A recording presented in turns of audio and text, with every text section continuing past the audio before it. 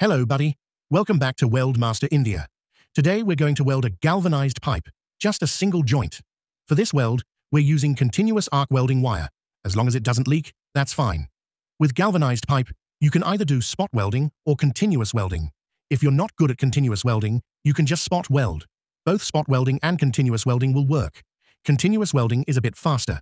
You see this pipe is a little bigger, it's a 100mm pipe, so continuous welding works fine. When welding, try to set the current a little higher.